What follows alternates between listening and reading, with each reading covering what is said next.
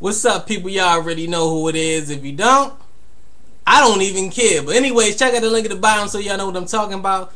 But um, I'm not understanding why people are debating about this whole situation. I'm I'm really lost. Like, what's the big deal? You know, I, I mean, you know, when 9/11 happened, everybody was talking about their safety. Uh, what is the airlines doing? Now they doing something. Everybody complaining. Up, they pedophiles. Up, they checking the kids too much. You know what? If whoever kid that was in the video, parent, mother, father, felt some type of way about the guy checking them, all he had to do was, you know what, we can go somewhere else. It's called the Greyhound. Travel by yourself. Do something else. I don't know the train. Like if you feel some type of way, if you your kid, you don't want your kid to get checked like that, use something else. Use some other uh, transportation. I I don't know, but I don't see the big deal. I don't see no why everybody tripping about it.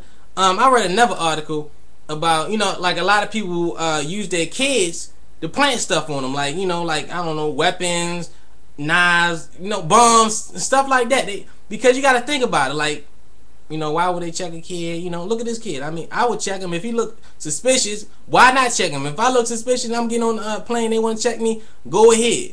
You know what? I, if I feel some type of way, I can always use something else. You know, I can use other transportation to get where I need to go. But um, I don't see the big deal. I read another article. Let me tell you about this article. It was about um, um, a kid. He didn't want to sit down in the seat when he the plane was about to take off. You know how they always say safety, put your uh, um, seatbelt on, all that, blah blah blah. So the kid was not trying to, you know, they had to restrain him. The mother and father had to restrain him because he kept on moving around. So they turned the plane back around and they told them to um to get off the fucking plane because the kid would not control himself. He was acting crazy. So I can kind of understand that. So they wrote the uh, the airlines back talking about I don't know why they did that. Now they're trying to sue him or something like that. I mean, you know what? And that goes out not even be random. If you got one of them kids and they, they can't be on the airplanes and they make all the noise, I'm not trying to hear that shit. I play my I pay my good money.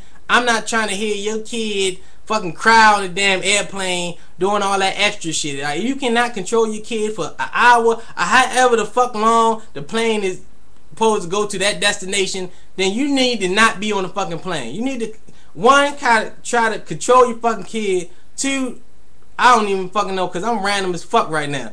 But but that's about it. Y'all tell me what y'all think about this whole situation. I just thought, you know, like, why not check him? You know what I mean? Like, if I was on a fucking wheelchair, you know, I might have something planted on me somewhere under the seat. I don't, hey, check his ass, man. Like, really, no homo, you about that. But um, uh, that's about it. Subscribe, rate, comment, man.